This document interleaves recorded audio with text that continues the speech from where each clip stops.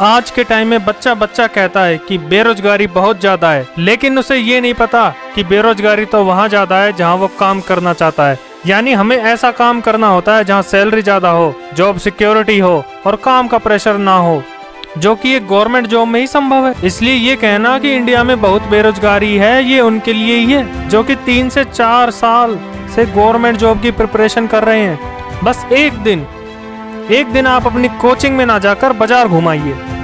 चलो मान लेते हैं कि आपका कोचिंग में कोई इंपॉर्टेंट सब्जेक्ट चल रहा है तो आप किसी संडे को बाज़ार घूम आइए और तब आपको पता चलेगा कि इंडिया में बेरोजगारी क्यों है, क्योंकि काम तो बहुत सारा है।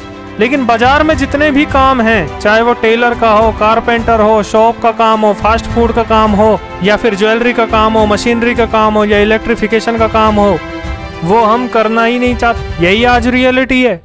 गवर्नमेंट जॉब के लालच में बच्चों में जो ये काम मैंने बताए हैं, उनमें इंटरेस्ट खत्म सा होता जा रहा है। इसलिए देश हमारा पीछे होता जा रहा है। आज देश की जीडीपी भले ही इंग्लैंड से ज़्यादा हो चुकी है, लेकिन प्रति व्यक्ति आय में हम आज भी बहुत ज़्यादा पीछे हैं। और अगर ऐसे ही चलता रहा तो एक दिन हम सच में बहुत ज़्यादा पीछे हो जाएँगे।